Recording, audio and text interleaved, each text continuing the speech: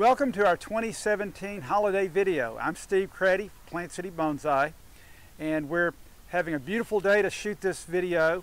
Uh, wanted to start out with, uh, uh, I do not lots of landscaping, but when I can uh, uh, handle really interesting materials, uh, I really get kind of into it. So these are Hindu pan style conifers. takes several years to achieve these. They're absolutely beautiful it's one of those things that this one plant, one or two of these, will do the work of 20 other smaller plants. Now we're, we're going to show you something I'm really excited about uh, just in a second.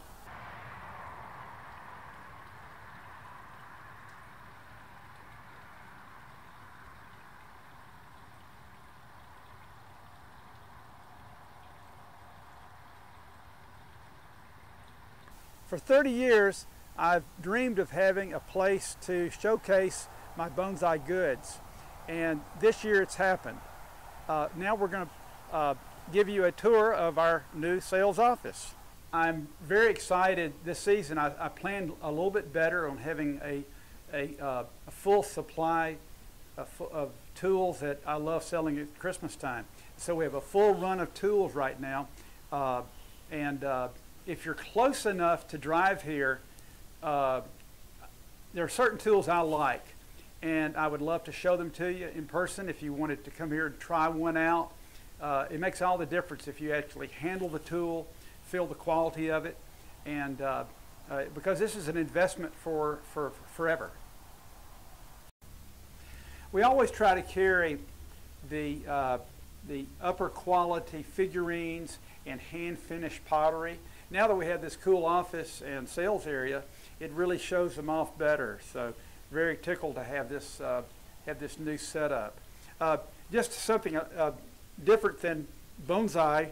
Uh, this is a uh, ikebana pot that I purchased almost 30 years ago, and it it left here for with a, with a client for many years and I just recently purchased it back. So it's good. It's a it's a very uh, unusual piece. It's cast iron.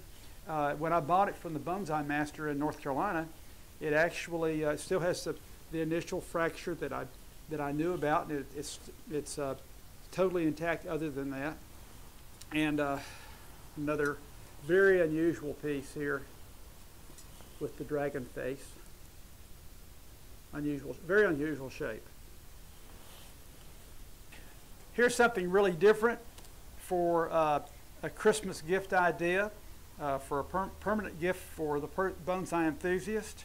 Uh, I have a complete collection of Bonsai Today magazines, 1 through 150.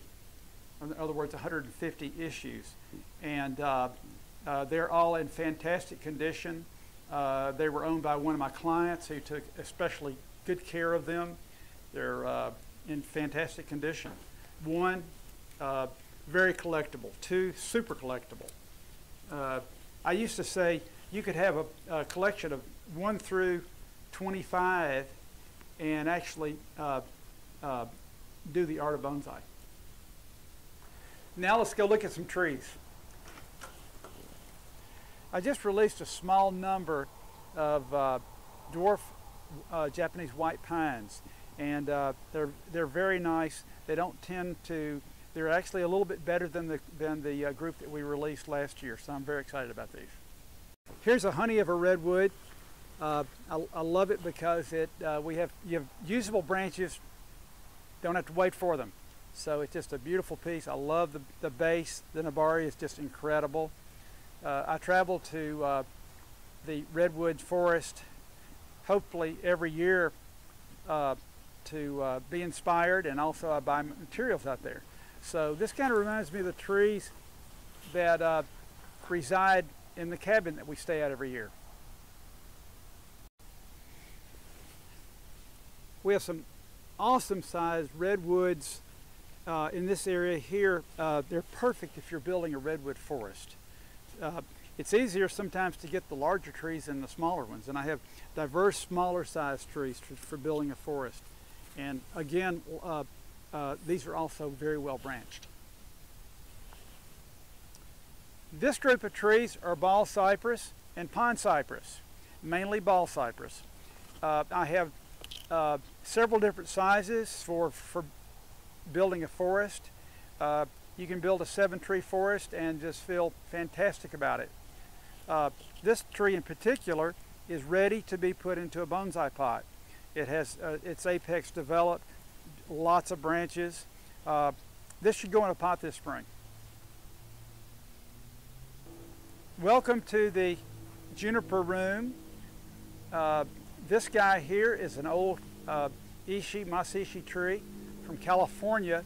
Uh, I purchased it in total in, in, raw form and it was very leaned over. And uh, with the help of uh, uh, Kathy Shaner and, and, people like Kathy, uh, we decided it needed to be a formal upright. And uh, this, it finally happened, and I'm very tickled with this tree. On our way to the raw material Shimpaku, I wanted to mention some smaller trees from Mr. Ishii. Uh, these are the Kishu Shimpaku, and I have a very nice selection. This makes a favorite gift for anyone. Shimpaku in raw form, uh, the popularity just keeps growing.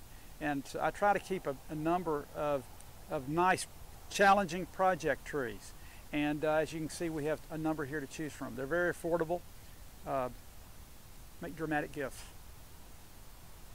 Procumbens, Nana junipers, uh, these were stake trees. Um, and uh, with the form that they've taken, uh, in the angles that they're growing in. They're wonderful for literati. In fact, we had a specialized workshop this past summer on literati juniper, and everyone was tickled with what they took home.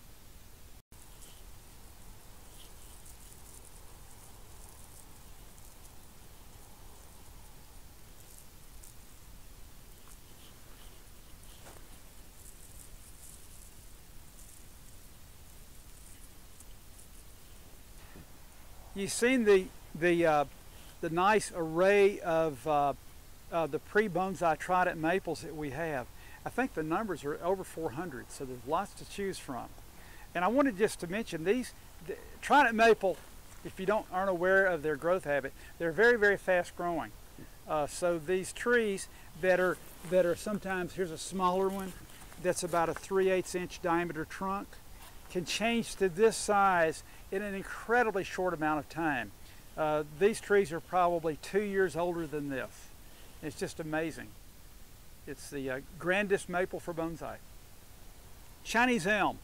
It's, it's, it's a practically a trouble-free tree. Uh, these are actually imported. Uh, we have them potted and unpotted. Very uh, reasonably priced tree to make a, a very dramatic gift. This is something that you rarely see.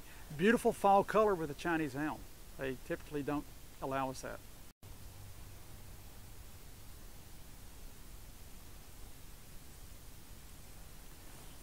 These guys are Cotoneaster, uh, a favorite for the last several years. And fortunately, they do their, their uh, uh, blooming early, so the berries form, and by this time of year, they're showing beautiful, their beautiful red color. Uh, they're just uh, easy care. I love them. One of my newest additions is this wonderful lace rock. Lace rock comes from Utah. It's naturally craggy. It's the perfect stone to use to create mountain plantings. And this demonstrates that so perfectly. Uh, it's just, uh, we did three rock planting classes this past summer and they were all well attended. It's something you can just really get into. It's, it's the fun class. Uh, I have a very nice number of, of stones that are not planted yet. It's be, beginning in, in the spring, we'll have uh, at least three more classes uh, creating the, the uh, rock planting, mountain plantings. We usually do our outro with uh, the redwood forest. And this year is no exception. Uh, thank you for taking the time to view this video. Uh, hope you all have a happy holiday and hope you're able to come to my nursery.